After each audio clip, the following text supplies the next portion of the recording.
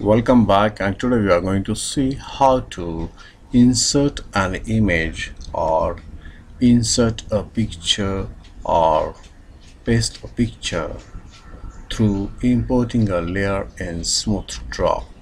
I'm using smooth draw 4 and open my template.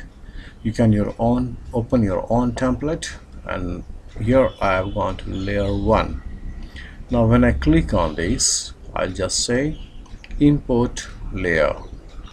I got the option to insert this image. So I double click on this and here this you get. Very amazing advantage of using this system is that you can move this image. Just hold your cursor like this and move it wherever you want. Suppose I'm preparing some tutorial geographical tutorial then I just put it here.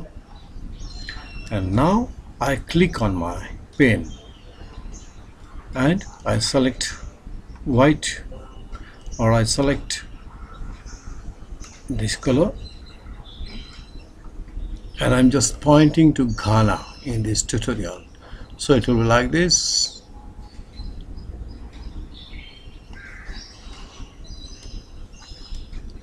Since this is light color I'll select another dark color. It will be like this.